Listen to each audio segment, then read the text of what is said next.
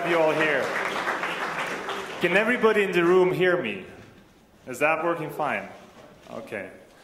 So, welcome. We're excited. First, I'm David. I'll be your host tonight and throughout the event. If you have anything, any problems, anything, hit me up. I'll be here.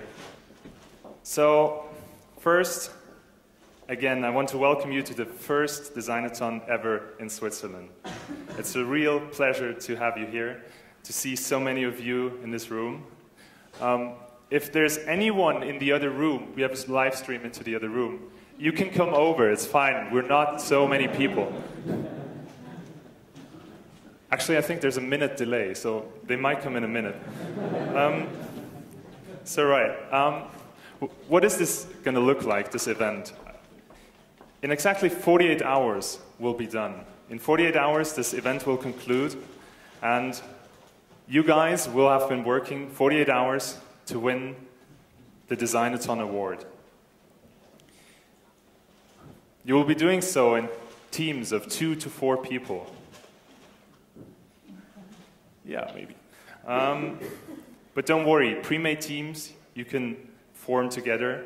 But also we'll have single people here, and we hope we can get some new formations of interdisciplinary, interdisciplinary teams too. We'll be doing that in the upcoming speed brainstorming sessions.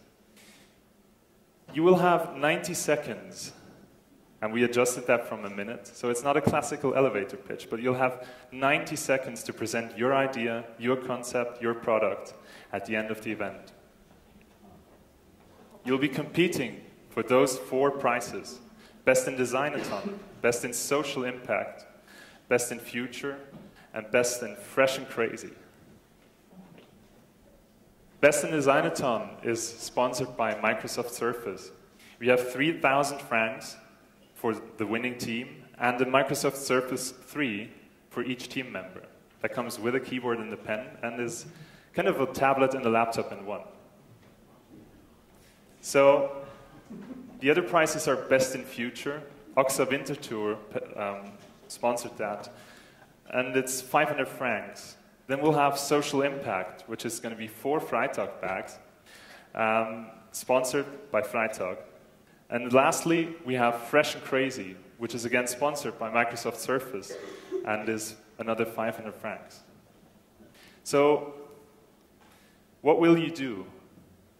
You will find you will have ideas, you'll have good ideas, fresh ideas, you'll have crazy ideas, and what we hope, hope most, you have bold ideas.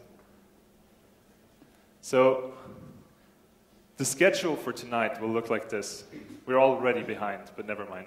Um, I will go ahead with a welcome and a bit of security, sorry about that, um, and introduction into the knowledge fair.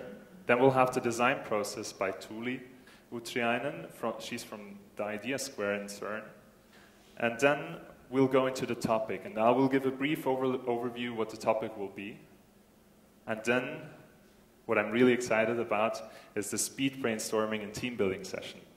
So be ready to get a bit of interactivity into this room. Um, then we will have a quick break, you can get some refreshments, and most importantly, you will have to sign up in your teams. So you register at the starting desk, with your team. After the break, we will have a talk and an introduction into company culture and workplace design by Google by Sascha Haag and by Lukas Stolvig. After that, we will have Ramon, a student from the ZHDK, um, who will be presenting his bachelor thesis on digital nomadism. Following that, we'll have a brief tour through innovation and the dilemma of acceleration in our society by Stefan Papst from the Wire magazine. And lastly, Tuuli and me, we will do a quick wrap up, and then you're free to go to the Opera and work. So I just want to take a moment to thank all our sponsors. It wouldn't have been possible without that. We are so glad to have both financial sponsors, location sponsors, and of course, drinks and food. But also, we have partners who supported us, us in this location. So, the briefly announced security briefing. Um, yeah, I tried to make it funny, so I hope this is a bit, uh, at least a bit enjoyable. Um, this is the number you have to call if anything really goes wrong, like really wrong. If you lose a leg or anything. This is really the. Don't call the police or the fire department or whatever you're going to ha make happen here directly. Um, call this number. They're available 24 7 and they will dispatch your emergency call. If, however, it's only a broken stool leg or something else, you might want to call this number. We're available too 24 7, and it's the team, the Designathon team. So if you have a jammed print or anything or a question, call this. Even if you're stuck in an elevator, maybe. That can work too. Um, seriously, don't be afraid to call this number. We're here for you. Um, now, I just want to quickly go into the building. Um, we're here, right? I hope no one is in here, but I hope we're here, all of us. Um, this starting desk is going to be occupied 24 7, so you can really always come here if anything goes wrong. Um, and then, this is the current floor we're on. And then we might want to go up to where you'll be the whole weekend mostly. This is the working area.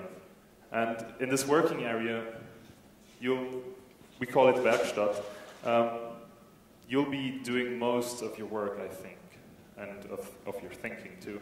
Um, we also have an adjacent room to the working area, which is the knowledge fair. Here we'll be having workshops the whole Saturday we have a relax, relaxing area. This is where you can have catch up and relax a bit and also catch up on some, on some sleep. Um, we also have a material shop. This might come in handy if you need paper, cardboard, wood even. This is where to get it. Okay. So, um, right, this is the third floor and the working area from the inside looks like this. I hope it will be, look like this too, or even crazier. We don't know yet. Um, but if we go back, this is the overview, and now we're descending a floor lower. And this is what you just saw. This area is like the main action part. Um, we have a lot of um, working spaces here, down here. So if you, I think you'll be safe if you work somewhere around here and go here for, for heavy lifting. Um, lastly, the most important part, food. Food is down here.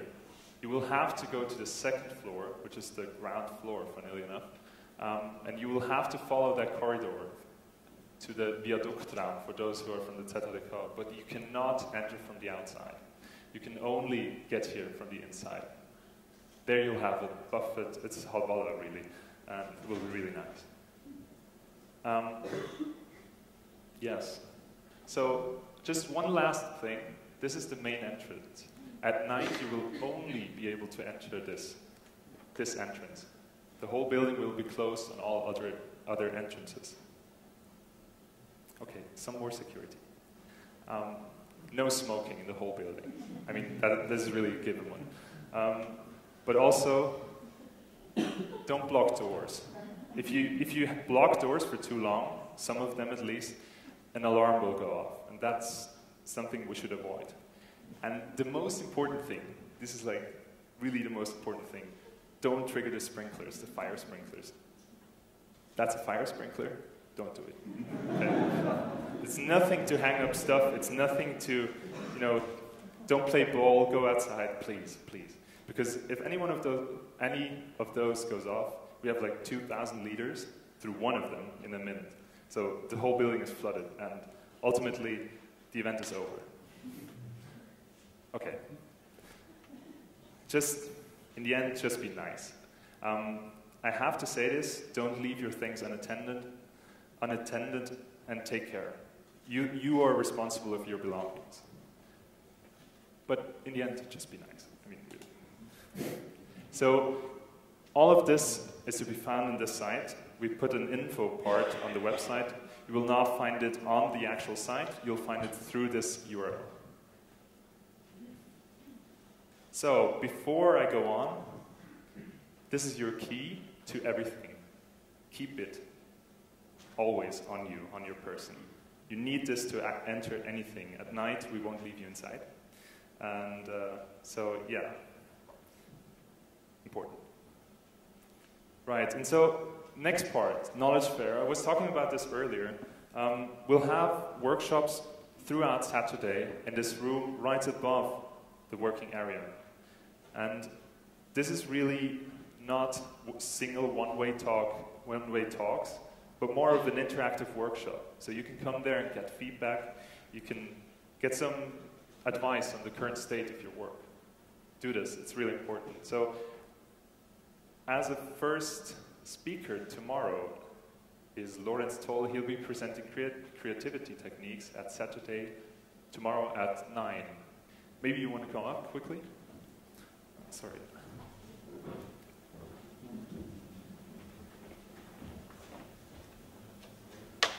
Does it work? I guess, yeah. Welcome everybody. Again, I'm Lawrence Troll and I would like to introduce you the workshop Creative Techniques and tomorrow we will get to know a bunch of methods. So it's a bunch, it's more sheets, sheets and more sheets to find exactly the right way to solve your, your problem, like to activate your ideas and to find or to get a unique solution for your problem you're working on. And so there are different steps. We're analyzing your question. I saw there are a lot of questions on the, on the website. So, but I would like to, to um, make them your question, like to deconstruct um, the question you're working on. And would like to adopt your problem finding your own approach and transform it to find your way through this. Yeah. Thanks. So tomorrow at 9, be there.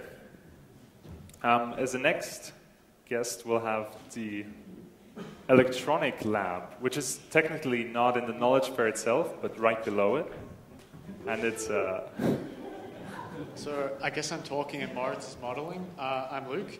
Um, we're both uh, working in research and teaching in the field of interaction design at the ZHDK, and we're available for most of the day tomorrow between 10 and 6 o'clock to help you develop your prototypes, develop your concepts, uh, particularly in the area of interaction design and working with electronic devices. So we can assist you with materials and also with advice of working electronics. Um, they are working here, by the way. Uh. Yes. Uh, so we'll be here the whole day tomorrow, 10 to 6, uh, and it's right next to your workplace where you'll be working in the workshop. So uh, we're here to assist you. Great. Okay. Thank you.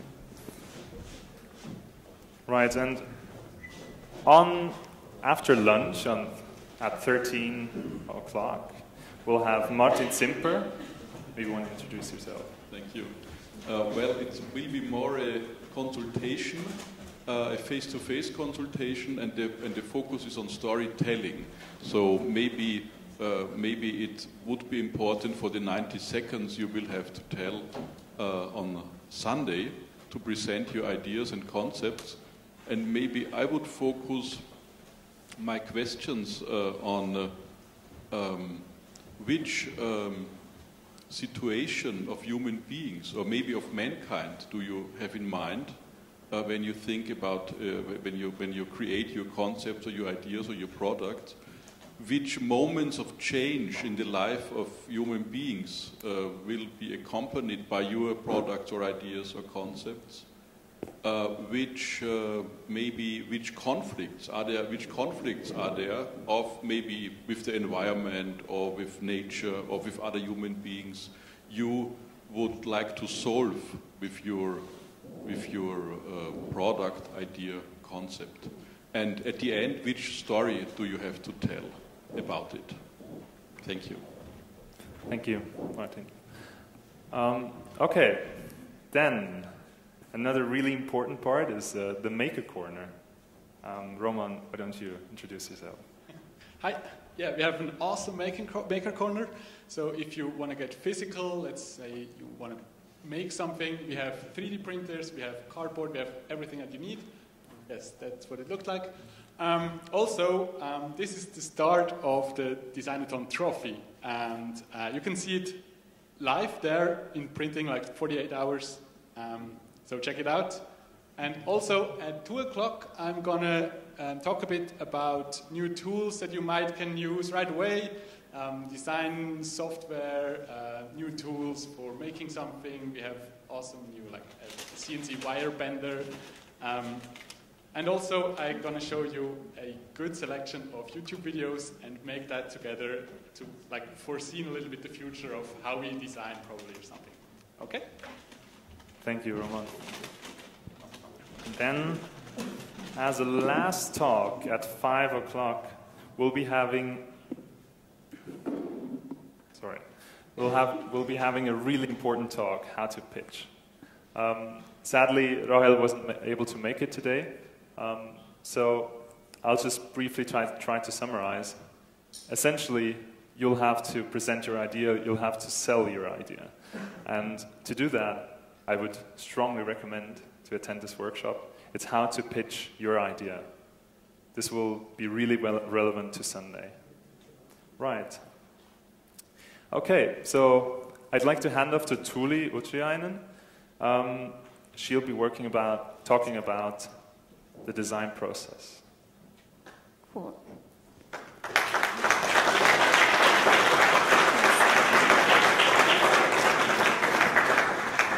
Thanks, Dave. Good evening, everyone.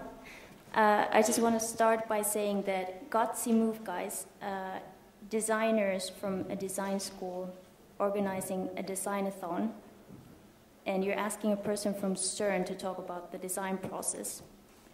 And I would just like to take a moment and remind you that I come from an institution that has produced this slide in order to let the world know about the discovery of the Higgs boson. And uh, yeah, just let that seep in for a moment. Uh, luckily, what we do is not only fantastic slide design, we do a lot of physics. We have around 10,000 physicists and engineers working together, producing some of the most intricate, complex uh, technology that the humankind has ever made. This is the Atlas detector. 40 million collisions happen there every second, and this weird construction is used to actually prove or disprove physics theorems. However, some of the technology also ends up being an application for the world. And as you can see here, this is a PET scanner that's commonly used in hospitals. Uh, however, this process is serendipitous and it can take a long while. So, what we're doing now is a new experiment is we're inviting people from different disciplines designing, engineering, architects, uh, and artists to actually work on societal challenges together and then to see if we could actually apply the technology in a faster way uh, for societal needs. And this is my home, where I live at CERN, Idea Square. And it's a smaller space than you guys have here, but it also has workshops, uh, rapid prototyping tools, and things that help people actually implement their design ideas. And to go back to the design process, this is something that it might look like. So, uh, this is a process from Larry Leifer. You start with redefining the problem, you do some benchmarking, ideation, testing, building, and this is what the process looks like in theory. Now, this is what the process might look like in practice. Because when you start doing something, you might discover that, okay, somebody already implemented it in one way, and then you need to go back, and then you do a little bit testing, and then you go back to redefinition, and it's all kind of a mashup. I think the more projects you do, the more you kind of learn to pivot as you discover new things. And there's research done on the processes, and one of the things I would advise you to do throughout the weekend is to shift between the modes. So don't only do one day ideation and then one day building. Um, Michael Lund actually went through the work of around 10 teams uh, and mapped out their process. And the teams who shifted between modes more actually got a better grade and a better outcome. So I advise you to do the same. And also, design is actually about people. So Malte Jung did a research where he mapped video material of team interaction and used the exact same methods it used by psychologists to determine whether a couple will divorce or stay together. And he discovered the couples or the team members who didn't go through a divorce by prediction actually produced way better project outcomes. So think about your team members this weekend as you would think about your spouse and try to stay positive. And if you disagree, do it gently. And then, what kind of difference does testing make? We often say test often. And how many of you has done the egg drop challenge ever? Anyone? Couple? Okay, so the egg drop challenge is an exercise where you design a shelter for an egg and you let it fall, and then you measure the distance, how uh, high you can drop the egg without breaking it. And by measuring the outcome of the designs that were tested and the designs that were not tested, you could actually see a difference in the height. So the designs that were not tested lasted for 70 centimeters, and the rest actually made it up to 175. And also, how tall the designers before the dropping said that their design would make it, their confidence in the height went up 44%, which is not bad. So, even if you have a short time, testing pays off. Test your ideas. And then, if you look at design not as a process but as a set of behaviors, we did a small research on what kind of behavior is hardest. You have to ideate, make decisions, prototype, do all these things. So we looked into these nine different modes. So there's redefining the problem, grasping external knowledge, like doing benchmarking, need finding, knowledge pooling, sharing what you know with different team members, and so on. And we actually found out that uh, testing and user feedback was most challenging for people. Then after that, redefining the problem, so making sure that you're actually working on the correct or right problem that's relevant. And last, grasping external knowledge, so making sure that your project has real world connection. And tonight and throughout the weekend, you have a lot of people available. Uh, so make sure that you help out different people and use their brains and lend yours. And this is a picture from a strange event in the desert, Burning Man. I don't know if you've been there or know about it. But it's a weird thing where for a week, entire week, money stops to exist. You cannot buy absolutely anything. You bring everything you have, and instead of thinking about what can you get, you think about what can you give.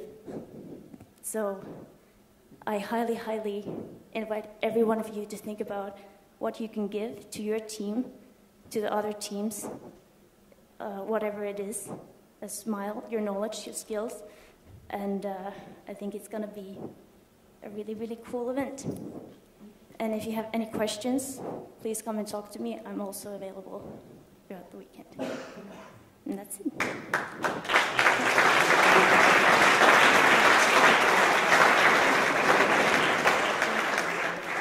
Thank you, Tuuli.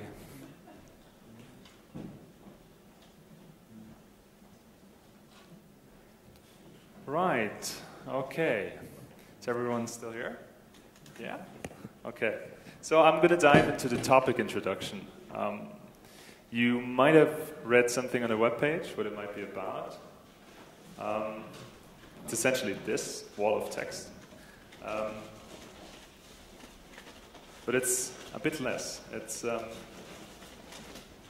it's about new work and how we shape our future work life, our working space, and how new technologies and how globalization, work life balance, how everything is interconnected, and how especially new technologies and globalization affect our working pace, how we work, where we work, and how often we work. Work life balance is not easy to maintain these days, except maybe for digital nomads who are chilling on beaches, working remotely. Does anyone know digital nomads? Yeah? Yeah? Okay, just quickly, a digital nomad is someone who travels the world and uses, essentially uses technology to um, work from anywhere he wants because he's not bound by physical infrastructure.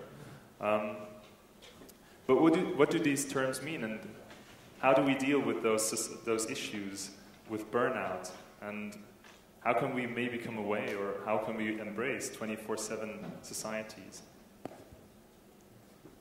We think that by choosing the topic new work, we give you something to, a topic to shape how we in the future want to work.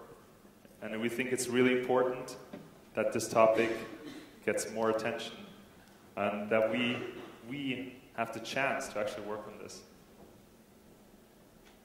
So, what will, the, what, will the motivation be to go to work in the future? Will it be money? Will it be creativity, self fulfillment? Will it just be meaningful action? So, how can we make this world maybe a better place, less, have less burnouts, have less stressed people? I'm sure you know this. I mean, all, essentially not for the environment, which is, I think, something where we care most about currently, but also for us, for yourself. We have a responsibility, and we want to give you this task to take on this topic and to be bold, to propose answers and to raise questions, to engage with this topic, and this will be the topic new work. Right, so Tuuli, why don't you come up? Um, so Tuuli and me, we're going to do a speed brainstorming. So, as a first task, I want you to reach down your goodie bag, grab a pen, grab your post-its, and if someone doesn't have a goodie bag, you might get someone from the person next to you, some from the person next to you.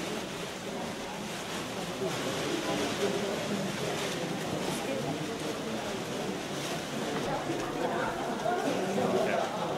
So, I'll let you start now. Keep your ideas, write them down, draw your ideas until the song finishes.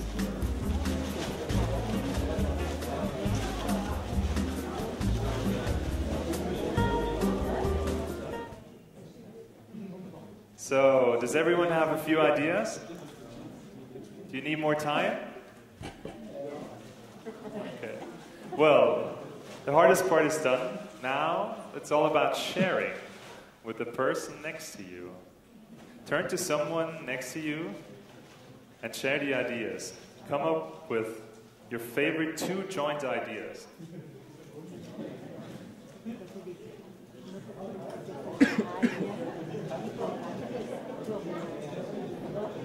We'll give you another three minutes to do this, and in the end, you should have two ideas you find best.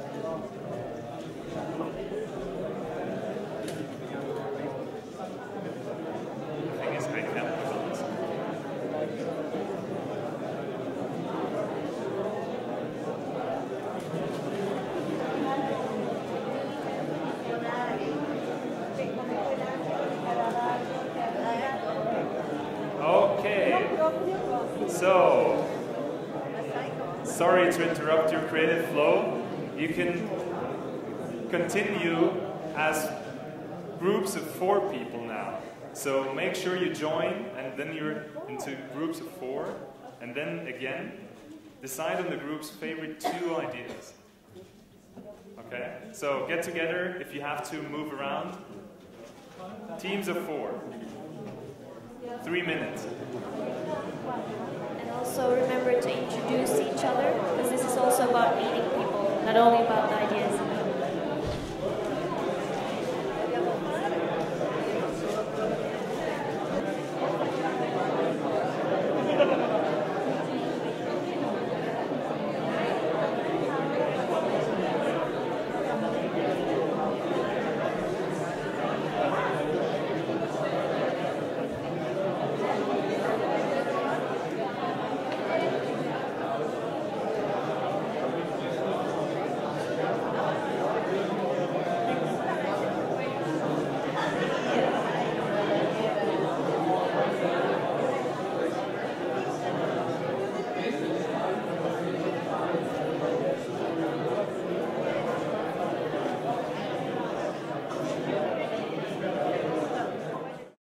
reinvent our existence. So through Skype, through Facebook, through Dropbox, through the internet in general, I'm always connected with my friends, my family, and of course, if I want or not, work. Of course, this more or less only apply right now for jobs which can be done by a computer. But again, through the internet, location becomes kind of insignificant. So, um, digital nomad is kind of a person who uses technology, particularly wireless networking, to work and live without uh, requiring a fixed location. It doesn't matter really if your client sits here in Switzerland and you are on a heavenly beach or in a Starbucks in a trending city, which is probably almost an impossible dream setup or a Hollywood movie. But co-working spaces become more and more normal.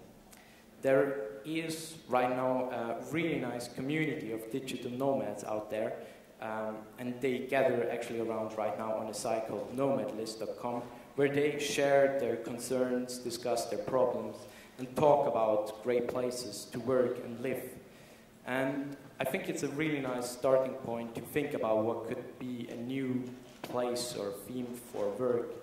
And one of the interesting questions they have is actually, when I live here but I work for another country, where do I actually have to pay my taxes? I have this problem right now. And one of the most uh, discussed topic right now is actually which is the best backpack to take with you. So this brings me to my second point. What are the actual needs today of a digital nomad? What does he or she need in her backpack? Well, even if everything becomes wireless, today my true friend and enemy actually is battery life. The battery life determines my flow, and I believe almost everyone here can relate to the feeling when you stand somewhere out in nowhere on a train station without a battery and have no clue which is the best connection to go home now.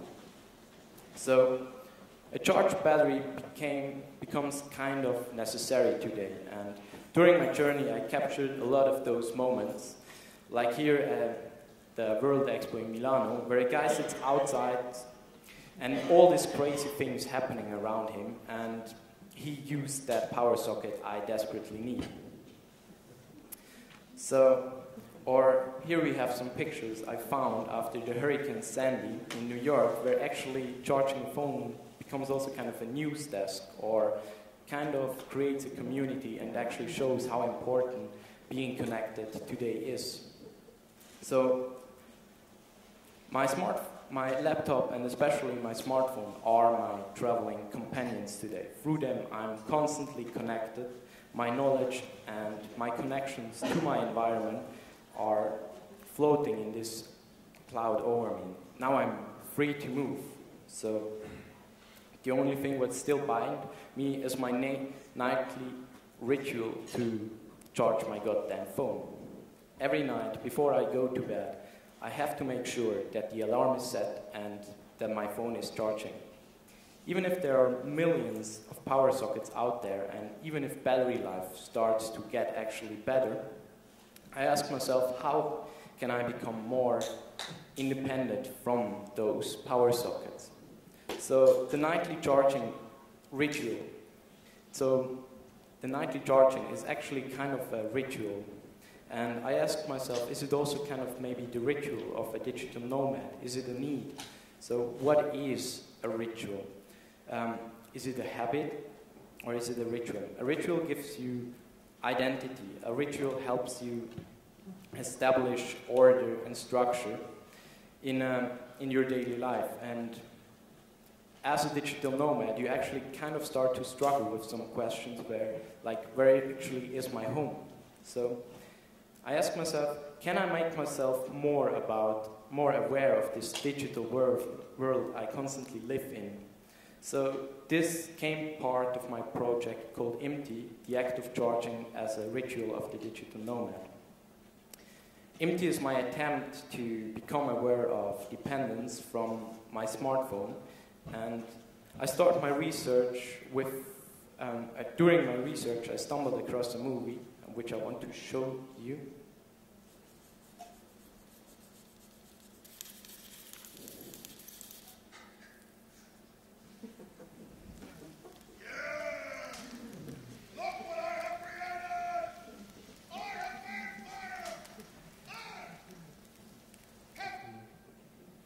Well, that was Tom Hanks alone on this heavenly island, stranded and lost, and screaming, I have made fire. And fire is some way today a pillar of our existence. This spark, fire, is kind of the key element who makes us to what we are today. And so I wanted actually to scream, I have made my own electricity. And in the Greek mythology, it was Prometheus who stole the fire from the gods and gave us the possibility to be free again and to cut the cord from them. So I thought I need to make a fire. So I started to drill a fire like Tom Hanks. Well, more than half an hour and a really intense workout later, actually that matter became alive. That was not that fire. Mine was that size. Well, but I have made my own fire. I, and I have to say it was kind of a really big satisfaction. This feeling you have of independence, this power, this feeling of you can do whatever you want, you can take over the world, you can rule the world. So I wanted to take that feeling, this I have made fire, into my work, and I want to showcase a uh, video about my project.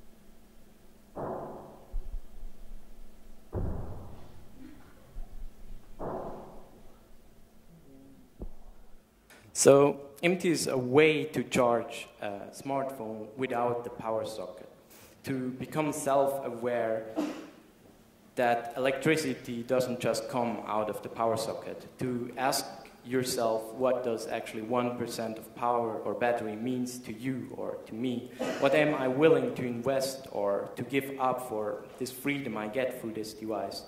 And during my process and my research about rituals, the history of us, and my confrontation to generate electricity, I had to realize that as something as simple as this, or as I thought it is, it kind of becomes a more difficult problem than I thought. For instance, I wanted to work just with a dynamo and take this idea, but with today's gadgets, it's a bit more complicated than I thought. For example, there are some really interesting, annoying security mechanism in today's gadgets which doesn't really want to allow you to charge. And so I had to get kind of innovative. Thank you, Apple. And I really like, so I really like the metaphor of fire, but I didn't want it to close myself too much too much, so I had to make another um, prototype, and I decided to create another one with a drill chuck. So now I was able to not only generate electricity through myself, I could also start to get out there and find other sources. I can now attach a water or wind wheel. I can steal now electric, like from every rotating object, like a parasite. I found electricity now far away, and I was kind of able to live as a digital nomad. Well, of course, this is the concept, and of course, I can see why some people on the internet think this is the most hipster way to charge a phone.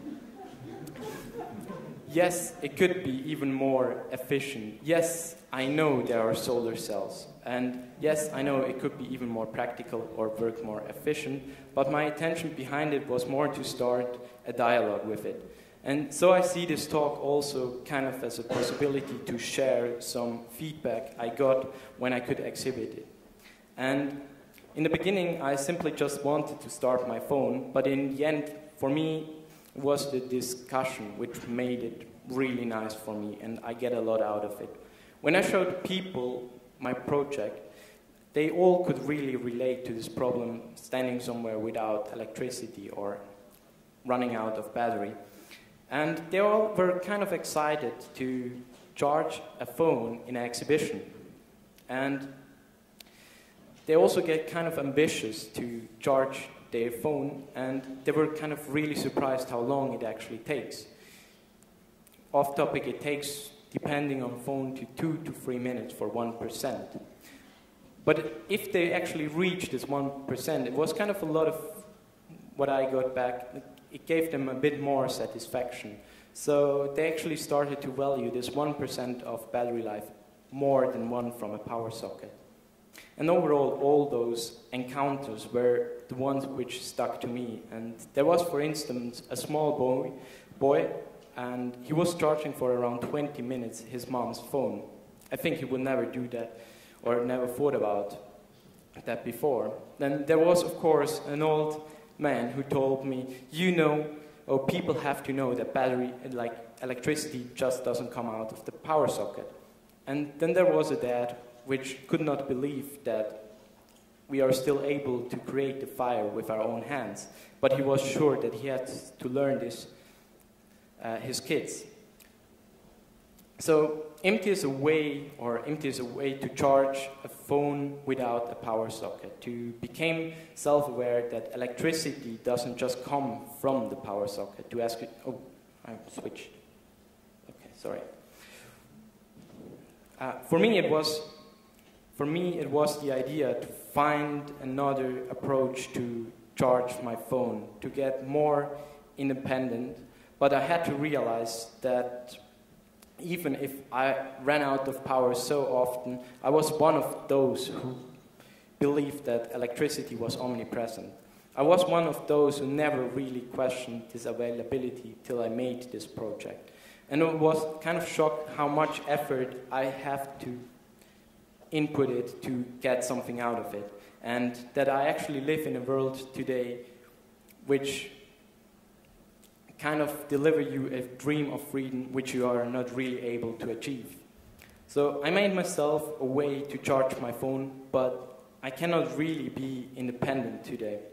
So I just want to sum up shortly. Um, smartphones are today our constant travel companions. Through our smartphones, we are free, but we are never alone. We can, can become nomadic again, and since the creation of fire, it was always about this balance between uh, the pleasure we get from things or devices and the pleasure we get from freedom from those. So my goal was to become more aware of this dependence of the smartphones, their battery, and to at least make me think, do I really need to reach, to be reachable all the time? I don't really consider myself anymore as a true digital nomad, but I'm still really like the idea behind it, and I'm kind of fascinated of people who really live this life. But I hope I could inspire you with a different of approach, what or how or where we could work, and what kind of new problems we could face in this case. So I thank you very much for your patience, and I hope you may not run out of battery through the next 48 hours.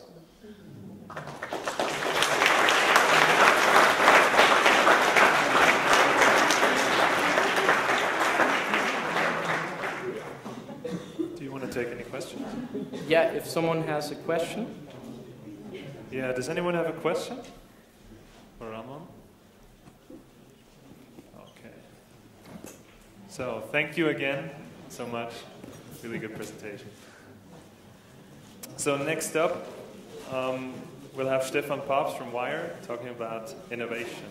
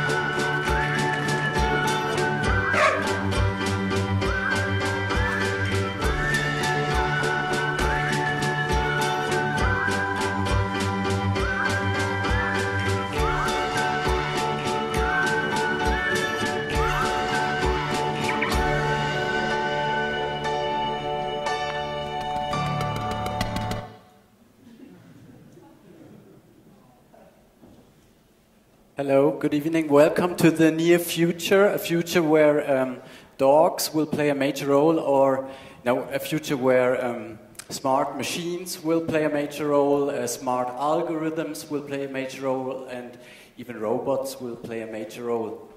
But uh, we all know that the future, uh, we, we can't make a clear forecast for the future, so we. Um, what we have seen in the video was that the future will come up with some um, uh, outcomes we didn't expect.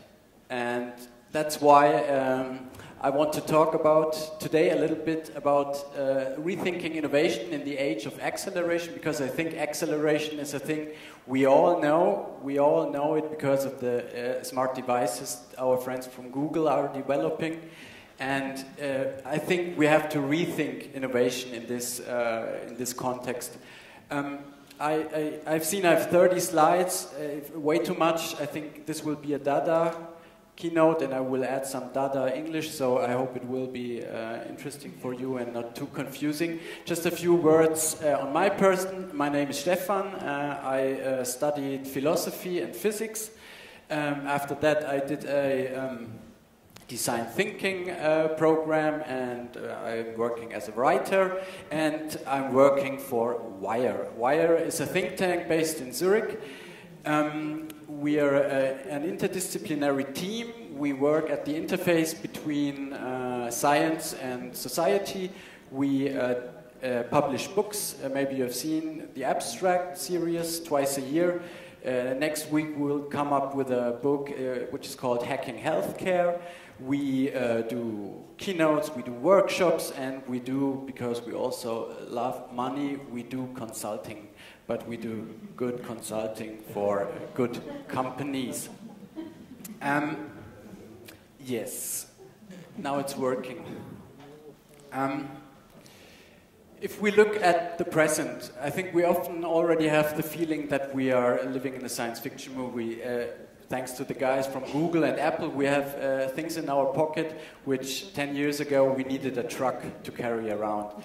And this is, this developments are, are tremendous, but um, I think beside all the science fiction things uh, that are happening, we also have to focus on the things that don't change or that uh, ch just change very slowly. And I'm talking about uh, personal needs and personal wishes. So I, as a recommendation, as you are, you are very free for uh, technical developments, but also be aware of the things that never change. I will go through, uh, this doesn't work, through the presentation in three steps. I will talk about specialization and the next industrial revolution. The next industrial revolution means artificial intelligence. Um, the second point will be the dilemma of acceleration which means I will talk about the fact that we are building smart devices, doing things faster than ever before, but unfortunately we are still uh, living, uh, we're still um, facing a lack of time. And the third part will be about um, how to do future innovation, and maybe I can give you some inspirations for the next 48 hours. So, uh, before we start with computer love, I think, I will go directly to the next slide. Uh, humans have developed a great way of dealing with the complexity of the world. Since the era of enlightenment, we decided to cut the world into pieces. We make small parts of the world because they are much easier to understand. And this leads to that great productivity. When we focus on one aspect in the world, we can do it really, really fast. And when we connect all these parts together, we can build up great products in a very fast way. This is very, yeah. And we, we started this in the first industrial revolution. Uh, producing a product was divided into very small pieces so machines could do uh, could replace the work that humans were doing. That's the other side of the coin. Um, fragmentation. We are already living on very, very small islands. We know that, especially in universities, I've been to ETH uh, lately, they have now a, a, department which is just um, doing research on, on uh, stairs. Ten people uh, doing research on stairs, part of the architecture department. It's really, it's cool stuff, but you know, it's, uh, they, they, they have really their own language, and it, it becomes harder and harder to understand what these guys on the other islands are really doing. And for me, the most uh, crucial problem is when I need to know something about stairs. I, of course, I ask the guys on the island of stairs, and I have to trust them because I don't understand the language. I, yeah, that's the negative side of the uh, specialization um, coin. So, and of course, our goal should be to, to, to uh, rewind this kind of uh, fragmentation. Because we all know when we focus on something too strong, something might appear that will hit us.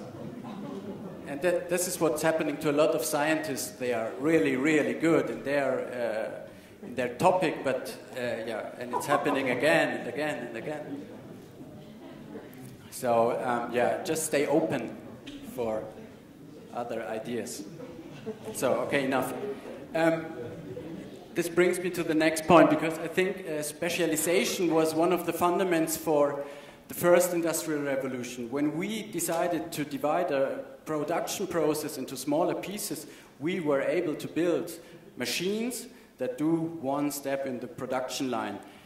And today, we also, like we've seen, we, we, we are doing research in very focused uh, special fields. This is now the time for smart machines to, to um, I don't know, to, to, to, uh, to help us or to even re replace us in the things we're doing. And now we have to think about the, the, um, the areas where robots or smart machines can actually replace us. And I'm pretty sure that it's all about rationality. 100 years ago, the machines replaced our muscles. This was no problem. We knew that there were other animals on the planet that are much stronger. But today, with I think the unique selling point of humans is really rationality, and now there will be algorithms and, and smart machines that are even faster. I think this will be a very uh, tough uh, challenge for our self understanding. But I'm pretty sure, yeah, smart machines or al algorithms will change our healthcare system, our, our banking system, the way we learn, the way we teach, a lot of stuff. But I want to ask a few questions on, on the age of uh, digitalizations. Three questions I think are very important to, to, to get an opinion in this development. The first thing is how moral can algorithms be? Because I'm pretty sure that algorithms will have to make decisions in the future that have a moral um, aspect. The second question is what work will humans do? or yeah, let's say uh, half of our jobs will be replaced by, by algorithms. What will we do? I don't know. This I will explain to you later. And the third one is what will happen to the speed of our life? Will it go on getting faster and faster, accelerating, or will it slow down? These are the three questions I think we should talk about. The first is on morals, and I think there is no better uh, example to talk on morals than on um, self driving cars. Because, let's say in, uh, Google says 2025, uh, I don't know, half, no, I think 2025, half of the cars on the road will be self-driving. Stop. Um, and this will lead to 80% less accidents than before.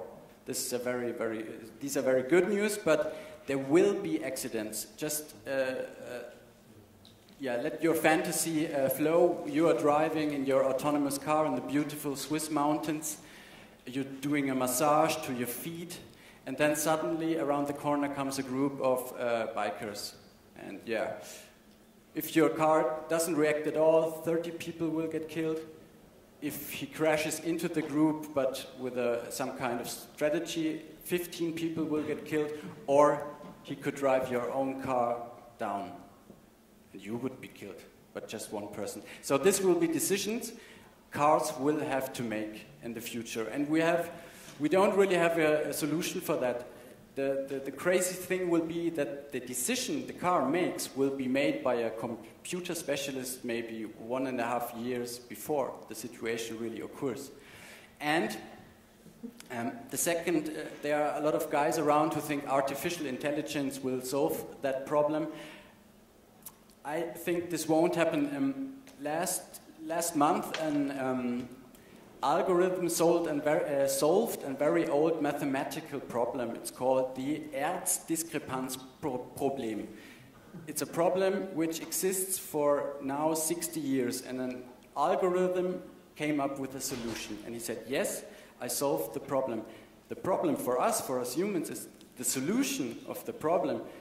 The length of the solution is longer than the whole Wikipedia. So it's very hard for us you, humans to reconstruct the solution of the algorithm. So this will be very hard. We won't, these machines will make decisions and we won't be able to reconstruct their decisions. So we have to ensure a high quality education, which means, yeah, I don't know, we have to teach artificial intelligence, but we are not uh, sure so far how this will work. So, second problem. what jobs will we lose? This is a, a, a study from The Economist from last year. One means your job will uh, be replaced by an algorithm in the next 20 years, for sure. Here, it's not so sure. Telemarketers, retail salespersons, economists, and there, this is pretty interesting, uh, you can see right now. Half of all attorneys or law experts will lose their job. So congrats to your choice here. Design is a very, I think, creativity will be a human, uh, unique selling point for quite some time. But if you have friends who are studying law, maybe you could talk to them just, uh, yeah. Because it's about laws, it's about texts, and of course, algorithms are able to scan these texts and to, to uh, yeah, to, to do the rational part. Um, I think here also what's missing is barkeepers. I was a barkeeper in Zurich. Barkeeper won't be uh, removed by smart machines, but also dentists or all, all, the parts where empathy plays a major role won't be um, replaced by machines. So, what will we do? I'm pretty sure that we won't end up like this. It's a pretty interesting uh, uh, scenario. And of course, we could, we should really think about the uh, bedingungsloses Grundeinkommen. How do you say uh, unconditional cash? And so um, I think the, the, the, second machine age will really be a, a, um, a chance for us to find out what we can do better than machines. And I'm pretty sure that all this creativity stuff, things like empathy, finding solutions in, in um, how, what did I, unclear situations when, when we don't know which uh, um, numbers we have to add to, to find the solutions, I think people will still be much better than algorithms. Third question, what happens to our feeling of acceleration? Yeah, I have a, an opinion, and the opinion is clear. Oh shit, nine, nine. Sorry. Yeah, I, am sure our feeling of acceleration will go on.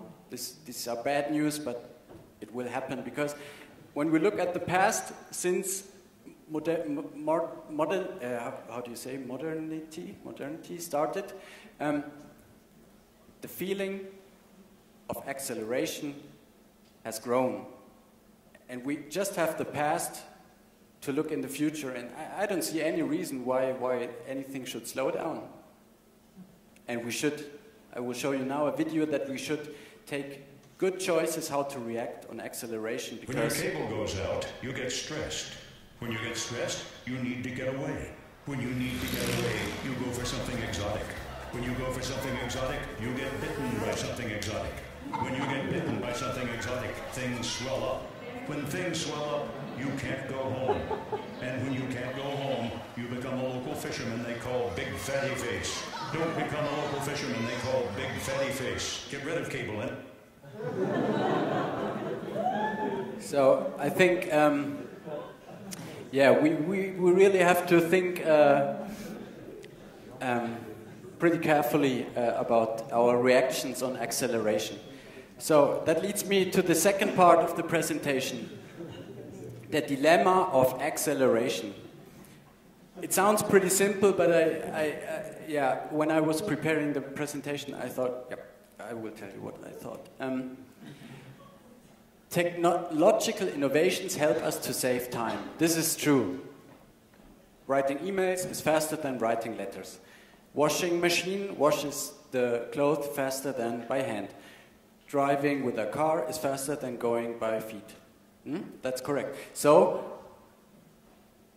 normally, all the time that has been saved by a machine should be now uh, there for my uh, use. But that's not a fact. Uh, that's, that's not happening. And why is that? It's not the technological pro, uh, uh, tools.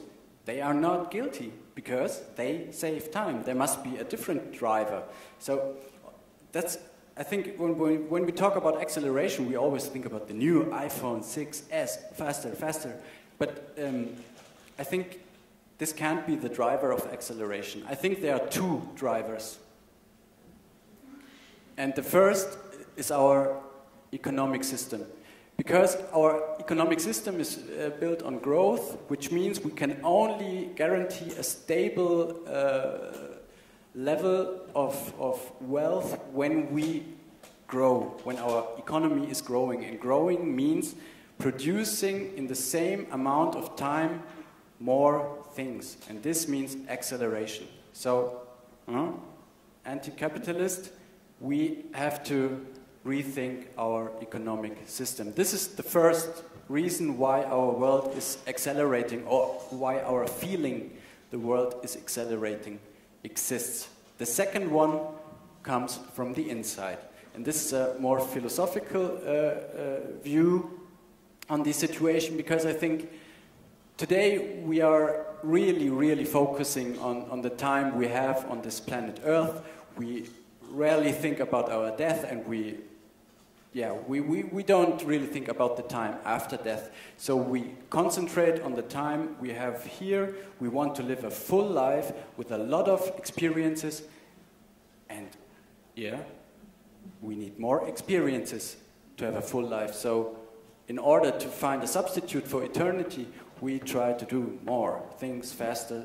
And yeah, that's the idea behind the argument. So, what should we do? Actually, I don't know what we should do, but I know what we should not do. I think slowing down can't solve our lack of time. Slowing down won't be any solution because, yeah, there are two reasons.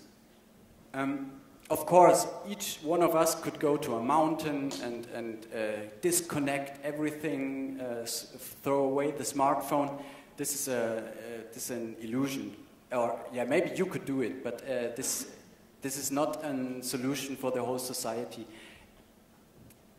Time is not a product like fair trade bananas. This is what uh, I, I, really think. If everybody is buying fair trade bananas, the economy will change to sell more fair trade bananas. This is good and this is true.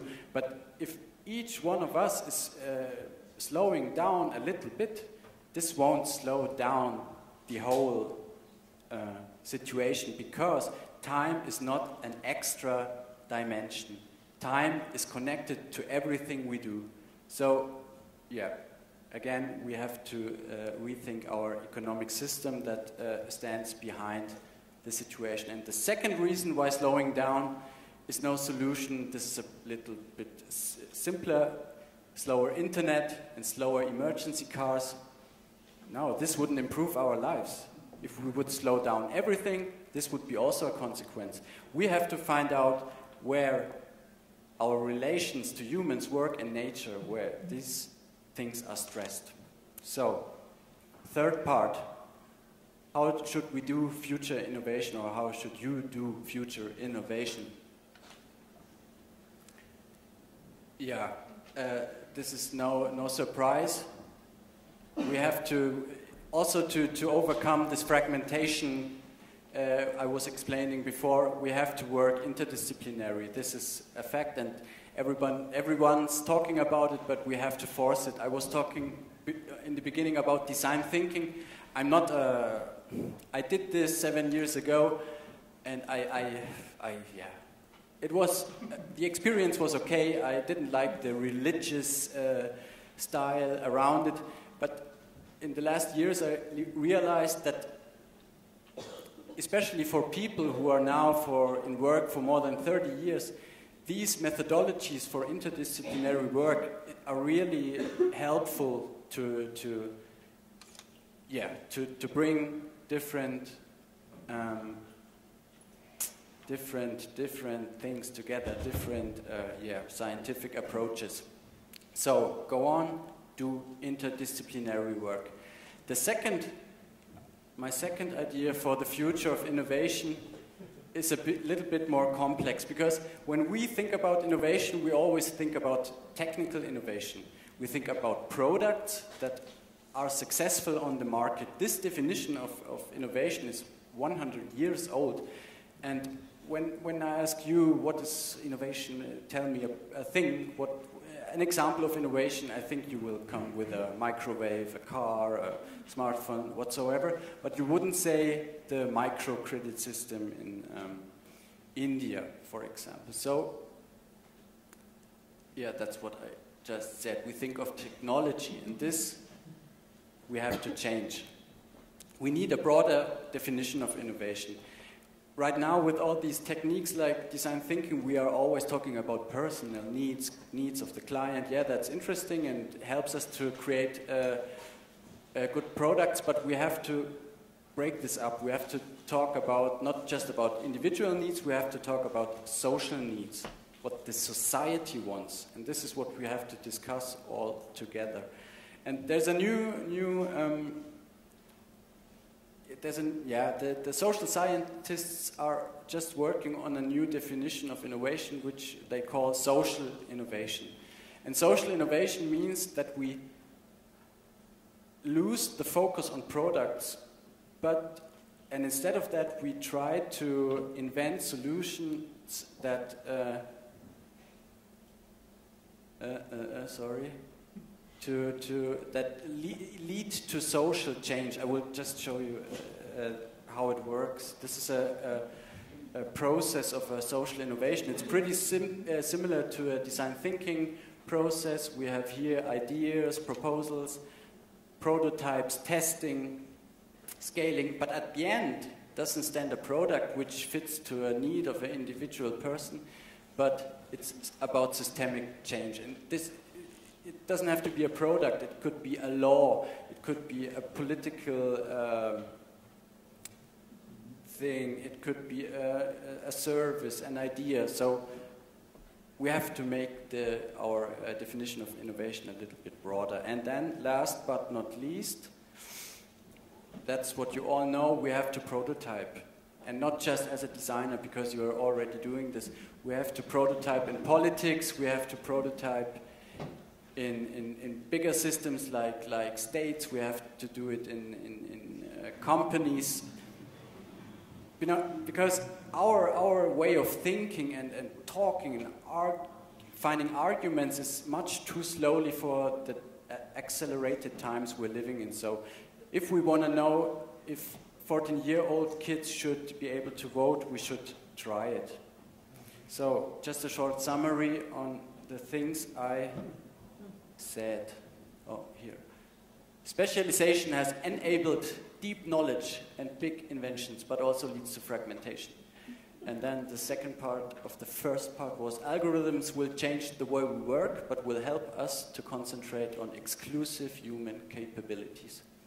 Second part about acceleration says acceleration is an eminent part of modernity we have to identify where speed stresses people and rethink our concept of economic growth.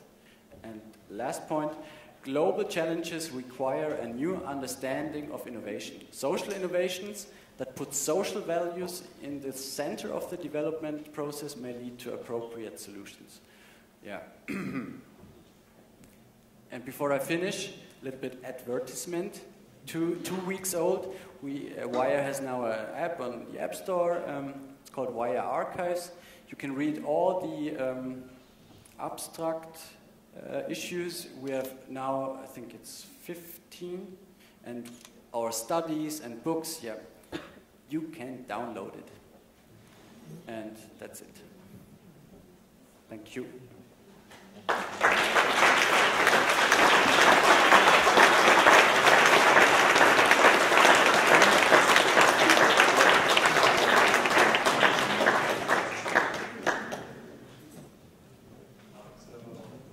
Do we have questions?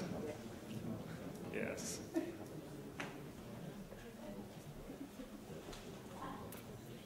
Thank you. I thought this was very interesting. You were talking about the human capabilities. Yes.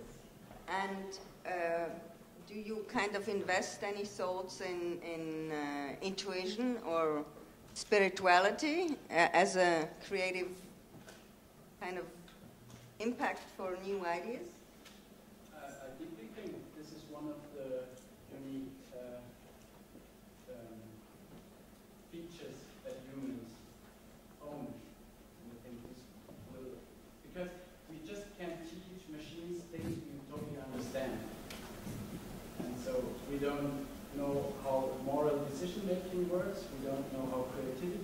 We don't know how spirituality works.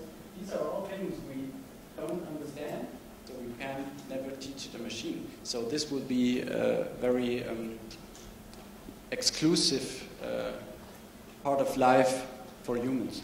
Is this? Okay, thank you. Any more questions? Yes.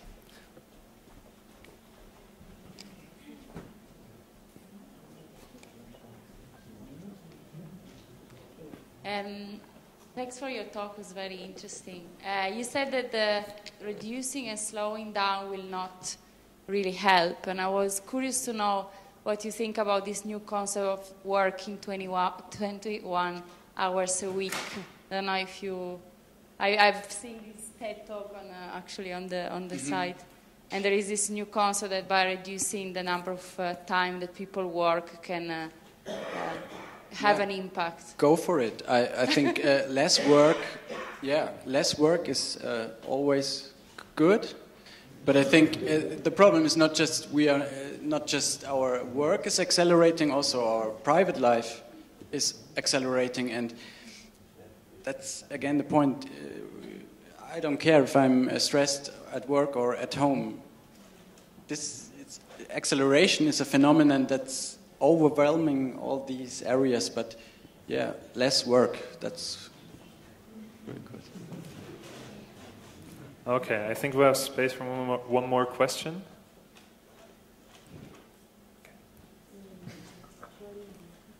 Don't you think that it's an illusion uh, that we can cope with the acceleration uh, as human beings? Um, I, for myself, I think that uh, the the economic way of our life and the, the uh, acceleration will lead to a crash um, sooner or later. It cannot go on for like 100 years. It will crash. I think I, there was one slide I, I, I, did I didn't I, I, erased. There's a new political philosophy which is called accel, acc, it's so difficult accelerationismus. It's it's they are fighting against the the no, it's, uh, my English is too bad. Sorry, I can't explain that. But there are uh, ideas. Okay, I do it in German. Ähm, danke.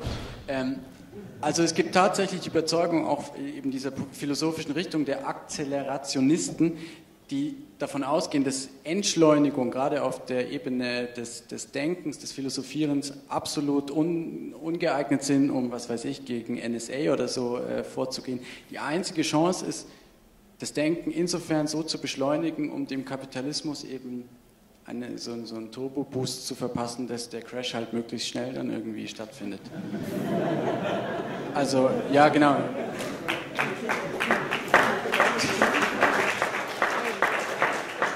Nein, also ich glaube, genau, äh, nein, ich sehe überhaupt keine, ich sehe da leider kein Licht am Ende. Nein, also das, wie auch, also genau, ich sehe überhaupt nie, ich habe nie eine Phase gesehen, seitdem die Menschen irgendwie äh, die Reagenzgläser erfunden haben, wo das irgendwie langsamer wird. Und also wie, genau, also äh, ja. Okay, thanks again. Another round of applause.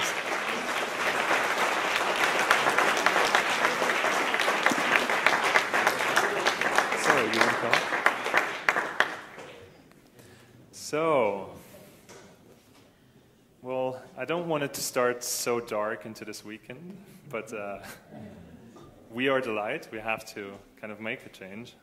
Um, let me just quickly find my slides. Right. Okay, wrap up. Um, so it was a really interesting round. I will quickly go into something different. And now we're back to what we want from you, or maybe what the requirements are. And first of all, we have a deadline on Sunday at 3. No, actually, actually, this slide is incorrect. I'm most sorry. Um, at 3.30, but this is kind of the recommended time when you're latest there to hand over your deliverable, whatever that may be. Um, so this, this is going to be at the starting desk. The Beamer is, yeah, whatever, HD. Um, and those are, those are things I'm more or less confident we can take in. I will be personally there at the desk starting from 12 on Sunday, receiving everything. So you can try it out on my laptop, you can try out whatever you want. You can even deliver just an image if you're going to do, I don't know, maybe act, I don't know. So really, we're, we're open to everything you can deliver. Um, it doesn't have to be any of those, it can be anything else. Um, this is just what will run on my laptop. okay, so here, the correct time, the deadline. Deadline means dead, like dead. I'm not going to take anything after that time. Okay, so make sure you're there a bit before, maybe, because there might just be a queue. Who knows? Um, so, but again, this is not what we want from you. We want, what we want from you is, and I showed this in the beginning, bold ideas. We want ideas from you. And it can be literally anything. It can be graphic design, it can be performance, it can be an object, it can be a concept. And we have seen so many interesting things now. I think you are inspired, I hope. So, a bit of admin. These are the pages. Actually, the info page just went online a few minutes ago, so you can now actually get the information there. Um, the topic, in, topic page is actually something I really recommend to dive into the new work culture thing again a bit. Maybe compare what you receive now as an input to what we have on there. There's a few interesting talks that was already mentioned, um, 21 hour work week, etc. And now, yeah, um, maybe I just want to put out some questions that might or might not help you. And starting with Google, we saw this whole workplace innovation and how, you know, this is really something that is becoming important, providing an actual space to work in and providing a space to think. And how can we therefore design our workplace? How do we want to work together? And what implications does this have on our work work-life balance or even on our self-fulfillment? And is maybe remote work something that might increase and increase?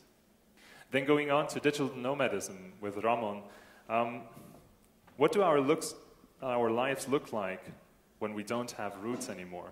What if digital nomadism is the actual model for our future kind of work? And what is home then suddenly? And where is home? you know? And how do we communicate? And what objects do we need for this new lifestyle? And more recently, innovation and acceleration. Um, I'll try to open it again. Um, how do we deal with this dilemma now?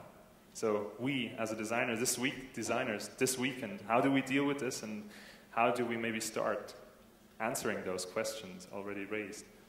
And what impacts do robotics and the ever increasing accelerations have on our lives already, right now? Not even maybe in the future, but already. Where do we see signs and how are they affecting our lives? And does technology actually give us time or does it just make us busy? Do we therefore want more of those regulating systems? Do we want to regulate those regulating systems? I don't know. And maybe just one thing I want to give, give to you dare. Be daring. Have bold ideas. It's, it's really an open weekend, and we, we can't stress this enough. It doesn't have to be always you know, the safe way, it can really be anything. Yeah, okay. So, Tuuli, maybe we kind of prepared some inspiration, some last, last inspiration, one or two slides. Um, one of them is a movie again. Let's actually work. Hmm. Oh, I'm sorry. Oh. I think it should be on.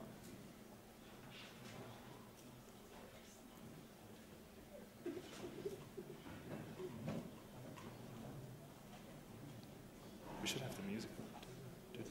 Could you do the music? I could.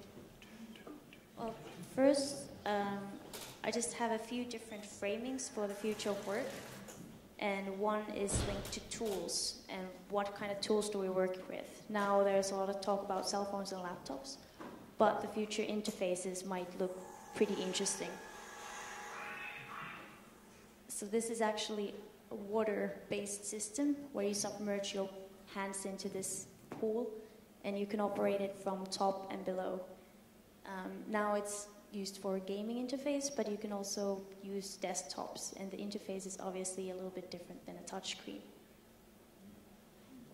And if you extrapolate from here, uh, and if you really, really believe something will happen in the future, let's say climate change, maybe water-based user interfaces will be more dominant if there's water everywhere, or you could even design a system uh, allowing you to commute in a world full of water. Who knows? There's also a lot of cool interfaces in the MIT Media Lab pages, Tangible Media Group, so you, you can go and Google if you want to do some benchmarking.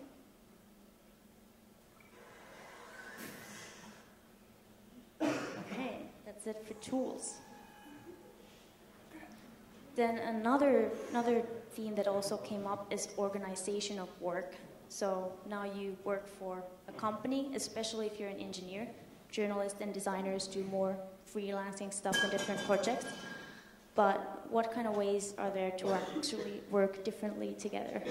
There's a Kickstarter is funding projects, but what if you could outsource getting your team together and actually getting money out of your projects?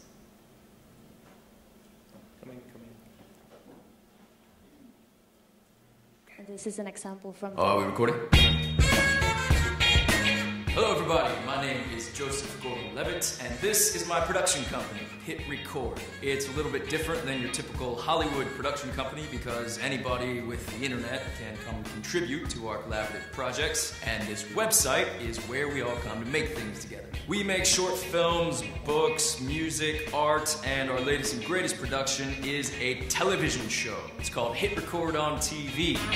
So if you're an artist of any kind, if you're a writer, a musician, a filmmaker, photographer, graphic artist, illustrator, animator, anything, come work with us. Or even if you just have a good eye and you want to give us your opinion on things, that's super useful. Or even if you just want to hang out and watch how it all comes together, you are welcome. But it's really fun if you join in. Okay, so you can be home, you can be doing whatever on a professional amateur level, and you can contribute to any one of the projects. You also get paid for those projects. So if any part of your illustration, music, whatever animation ends up in these projects, you get paid. And if you extrapolate from here, what if we could, I don't know, uh, come join 300,000 people to send a spaceship up?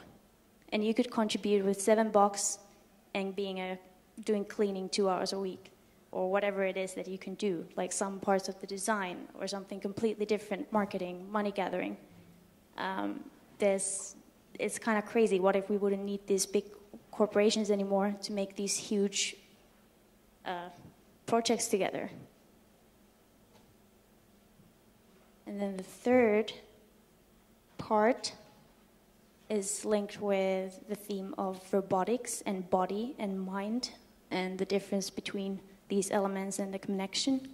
And this is kind of an old movie that gives out an idea of a different kind of world. Just watch a little bit of the trailer.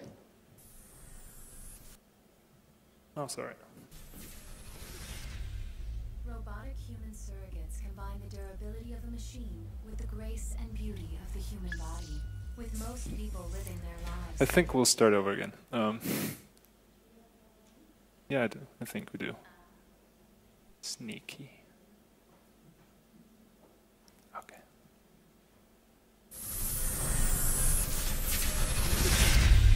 Robotic human surrogates combine the durability of a machine with the grace and beauty of the human body. With most people living their lives through their surrogate selves, our world has become a safer place. Take a seat in your STEM chair. And just with the power of your mind, you can control your surrogate and send it out into the real world. You can live your life without limitations. You see what they see, feel what they feel, and become anyone you want to be from the comfort and safety of your own home. You can finally live the life you've always dreamt of without any risk or danger to yourself. We are confronted with an unprecedented situation. Two people have died while connected to their surrogates. I think we may actually Okay, and homicide. things obviously go wrong from there because everything sounds to be too good anyway. Um, but here, all your senses and your motoric presence in the world has been outsourced to a surrogate. So there's actually a robot double living the life for you. And you can choose any kind of exterior you want. You can look like what you want. There would be probably no um, discrimination of any people who want to work at a company because they're gay or too fat or too short, because your robotic self can look whatever you want it to look like.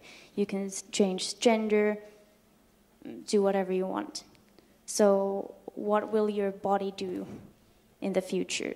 And what's that relationship going to be? Also, going to the mind part of things, um, this seems quite outlandish at the moment, but like we heard before, people are getting very attached to their smartphones and laptops. Like, uh, there's people who kind of get withdrawal symptoms if they don't have the tech with them. And what's going to be the first step? You can already externally stimulate your brain to be more creative. Some researchers are doing this. Um, maybe some very techy people will start to take some uh, implants in their brains just to boost their memory a little bit. Kind of like you upgrade a computer hardware. And then it's going to become more and more adapted. And where is this going to lead? No idea. So Yeah. Get crazy. yeah, so you can you can extrapolate things to the maximum and just play around with what if this would happen, what would follow, and don't take anything for granted. The other option is, you know, world economy goes to bits and pieces, and everybody ends up being poor, and we can't afford electricity. What does the future of work look like then? I don't know. It's up to you to decide what you want to imagine. Okay. Yeah, so I think we're going to wrap up now. Actually, wrap up. Um, are there any more questions? They can be content related, they can be related to the organization. After that, we're done. Yes. I was just wondering if we could can leave our stuff here at the school on our own uh, On your desk. responsibility. Yeah. Well, yes. I mean, So you can. workshop, For instance, I can bring some stuff and just leave it over there for tonight. Of course, but it's just there. So, I mean, yes. I mean, an option you maybe you could ask us to kind of maybe give it in so we can store it somewhere, but I'm not sure. If everyone does that, we're full. um, yeah, no, but I mean, you can leave anything here. Um, we're open 48 hours, so to speak, so it's not 48 hours anymore. Um, but uh, yeah. Any other questions? Yes. I have a question.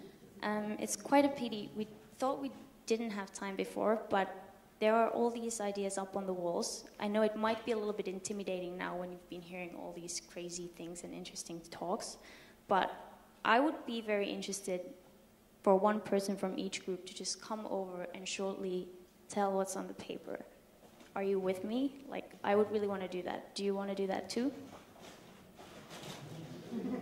I think we should do it. Come on. It's like collective knowledge. Uh, Okay. Maybe we can down the sheets to the dinner and put it there. Yeah, works okay. So I think I, I got a message before that at quarter past, that is three minutes ago, we'll have food outside. And food outside is waiting outside for you guys.